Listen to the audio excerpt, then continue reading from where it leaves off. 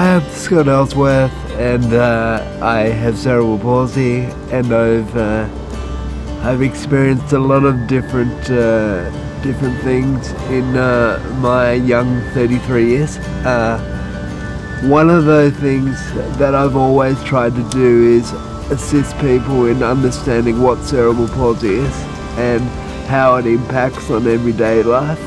Hi, um, my name's Harry Greenwood and I play the role of Charlie in the short film The Gift by Spencer and Lloyd Harvey. Uh, when they approached me to play the role of Charlie, I read the script and I was really excited because I'd never met anyone with CP and so the chance to step into someone else's shoes was something I was really excited by, so I leapt at it. Every person's experience with cerebral palsy is different, so when Harry and the team approached me, we decided to undertake uh, my specific disability. Like, for example, to raise my right arm like this, you know, I've got to concentrate really, really hard on that to, to execute that movement.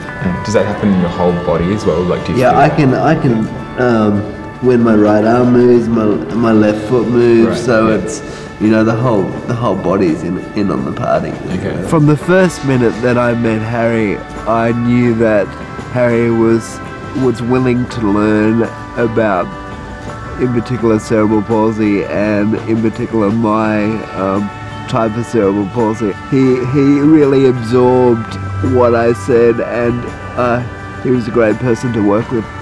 When I first walked in the room and I saw Scott, um, he gave me a big, broad smile, and I instantly felt at ease. And from then, it was just getting to know him. And he's a great guy, and he's very open to talking about his disability. And I think that's the thing that struck me that we're just the same. There's nothing really different. We decided to focus on the specificity of his movements and his disability.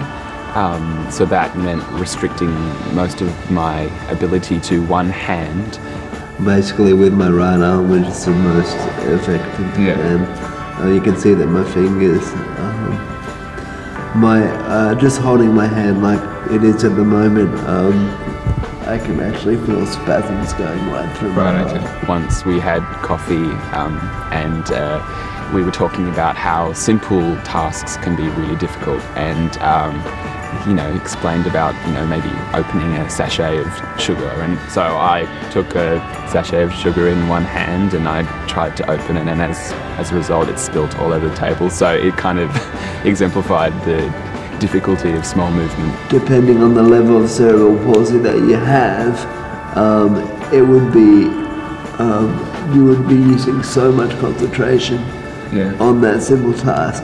And to rip to rip the packet open uh,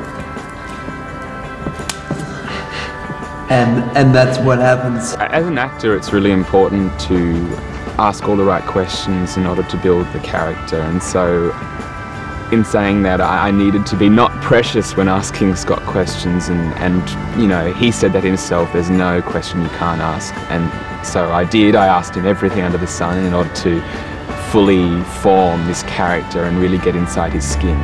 So that was also a challenge for me as an actor. And it's really important when portraying someone else to find the truth of who they are. And I think hopefully that's what I was able to do through my meetings with Scott. Is you going to open it?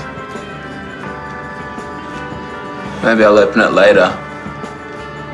If you like. As an actor, it's my job to step into other people's shoes, and um, in this film, Scott really helped me take on the role of Charlie and meet those challenges of playing a young man with cerebral palsy. And I think it's something that everyone can learn from, seeing things from other people's perspectives. if you stay in your own shoes then you become narrow-minded and you don't live the true life experience so i think it's really really important to think outside the square step into someone else's shoes and live what another person has to go through